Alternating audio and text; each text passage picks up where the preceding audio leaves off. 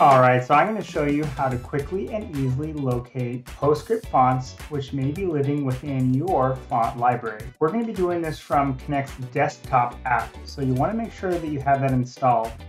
If you don't have it installed, the first step is to visit connect.extensis.com, log in, and then click on your avatar on the top right corner. There you'll find Install Connect Fonts. Go ahead and do that and make sure that it's installed properly. Once you've installed it, launch the program. It should look something like this. It'll look a little different on a, on a Mac, but it's similar looking overall. So the first step is to go ahead and click New Smart Search in the top menu bar. This will immediately populate an untitled Smart Search within your Smart Search field. So what you want to do is go ahead and name your Smart Search so you can quickly locate this in the future. I'm going to name mine PostScript Fonts.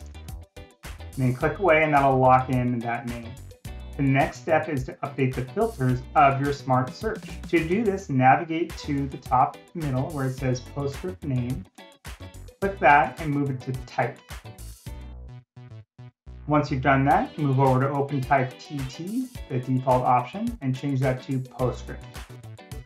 And then click away to lock that in. That's it. This is a quick and easy way to locate all the PostScript fonts living within your library by leveraging Connect Fonts.